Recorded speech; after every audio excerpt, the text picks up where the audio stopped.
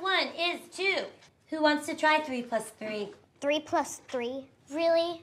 What kind of school is this anyway? The kind of school where students don't speak without permission. All right, but everyone knows it's sick. Nobody in this classroom speaks unless they are called upon. Stand on up. Stand up, babe, because you're so advanced. What is nine plus eight? 17. Yeah, yes, it is. That's good. What is 15 plus 17? 32. Yeah, that's, that is right. 57 plus 135. 192.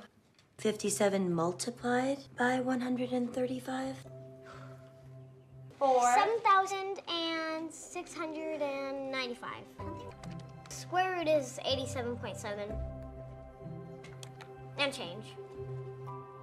Now, what is ad nauseam?